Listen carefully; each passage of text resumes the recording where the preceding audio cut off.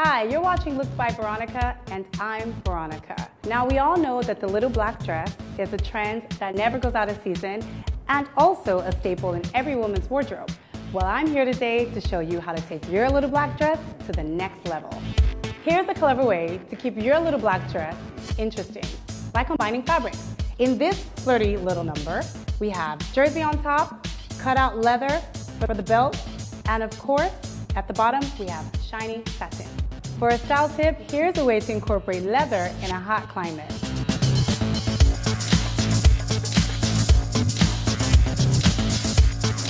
A way to soften up your LBD is by wearing it in the right fabric choice.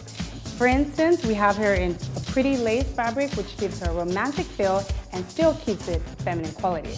For your style tip, here's a way to take your dress throughout the day. You could throw a cardi on and add a little thin black belt for texture and at the end of the day, shed it.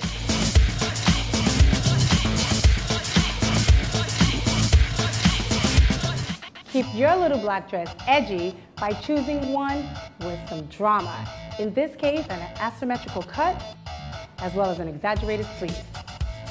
For your style tips, stay one step ahead of the pack by picking out a statement piece. In this case, something bold and eccentric is definitely going to get you a lot of stares.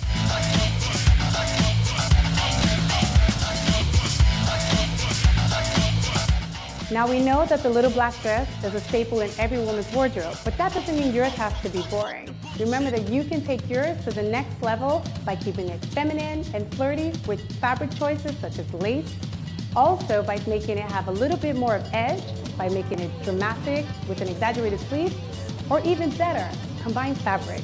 Either way, make your little black dress your own wardrobe staple choice.